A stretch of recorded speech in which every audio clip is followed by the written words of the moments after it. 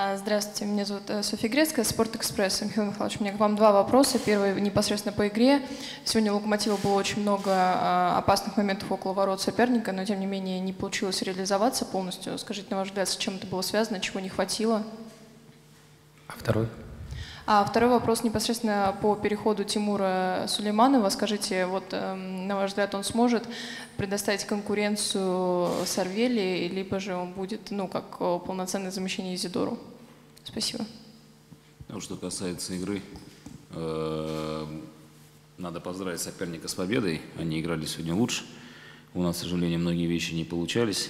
Я, возможно, что пауза на сборных сказала, что достаточно так недавно все собрались, и какие-то игровые связи были нарушены. С одной стороны, была дилемма поставить игроков, которые тренировались с нами, а с другой стороны, ребят, которые вернулись из сборной, то есть воссоединились, да, поэтому здесь э, очень много, как я уже сказал, было ненужных вертикальных передач, которые не доходили до адресата, упростили игру, что было э, не совсем нужно. Надо было мяч вниз положить и действовать более хладнокровно. Что касается, так, ну, был определенный натиск, наверное, во втором тайме, когда мы могли были забивать, но, к сожалению, э, в контратаках получили свои ворота.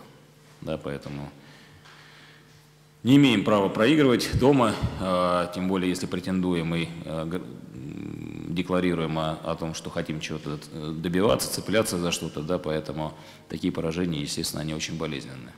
Что касается Сулейманова, э, ну, на флажке здесь без, так скажем, особых вариантов. Понятно, что российский игрок, которого знаем, который может э, создавать конкуренцию, у нее есть определенный набор качеств, которые могут приносить пользу команде. Тем более свой воспитанник «Локомотива» э, от этого и отталкивались.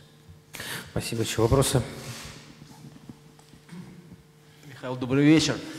Вы сегодня сделали практически ну, все замены, пытались изменить немножко игру, чтобы ее освежить, добавить давление.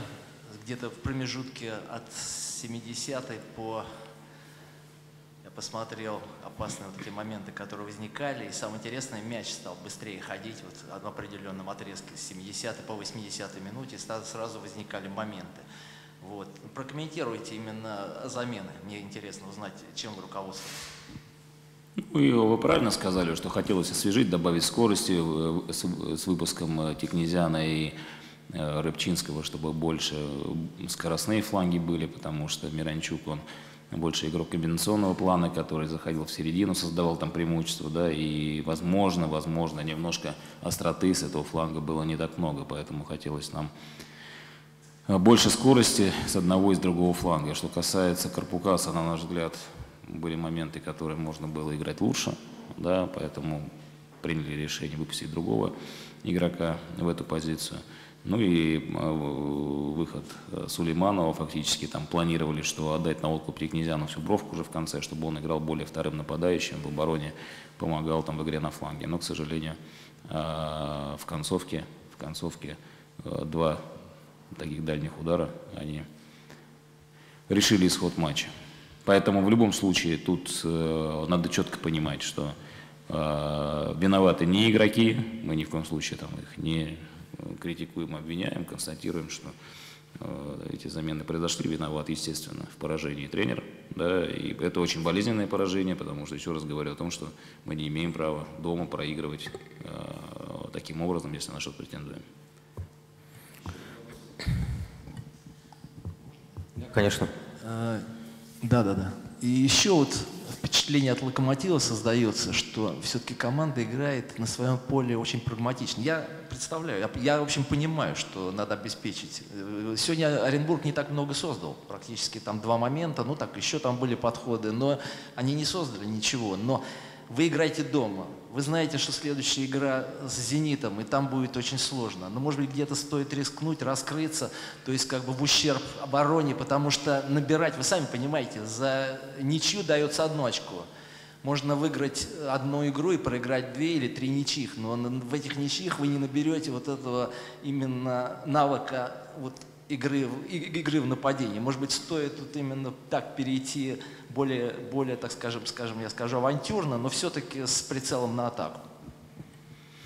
Но Нельзя сказать, что мы глубоко оборонялись. Наоборот, играли достаточно высоко и старались накрывать соперника на чужой половине поля, достаточно агрессивно играли. Поэтому вопрос другой, что когда, был, когда мы на мяче были, мы, я то, что вначале сказал, слишком очень много вертикальных передач, э, когда надо было мяч вниз положить и, проявить хладнокровие, да, чтобы иметь терпение. Но это определенный класс уже внутри игроков. Вот мы же видим у соперника Вера, да, который э, ну, э, это футболист высокого уровня, да, который может создать ритм игры, который придержит мяч, который обыграет, который э, создаст численное преимущество. То есть это вот и вопрос вот э, такой, что э, вот именно вот такого хладнокровия внутри нам немножко, на наш взгляд, не хватило с точки зрения терпения, потому что очень часто расставались с мячом и стали играть в несвойственной, наверное, себе манере. Да, и это, э, когда шла вертикальная передача, надо было успевать в подбор, подбор проигрывали, опять надо было бежать назад, и вот такой, так скажем, форсаж, он, я думаю, что был э, не в нашу пользу. Спасибо. Михаил, э, вот нет у вас такого чувства, что, допустим, вот игроки, которые выходят у вас на замену, два матча подряд, да, они не усиливают игру, а наоборот э, как-то, может быть, ухудшают ее или ослабляют, или это просто трагическая случайность, что в том матче, выигрывая 3-0, сделается замена и получает два гола, здесь, получается, опять вроде играет с преимуществом вашим и в то же время вышедший на замену, и вот они два гола опять в ваши ворота. Вот не, нет такого чувства, что вот эти выходящие игроки, они неравнозначны тем, которых они меняют. Есть ответственность тренера. Тренер ответственен за игроков стартового состава, за игроков, которые выходят на замену. И тут э, вообще я считаю, что не имеет смысла говорить о том, что кто лучше, кто хуже. Есть, э, еще раз говорю, ответственность, и я ее принимаю.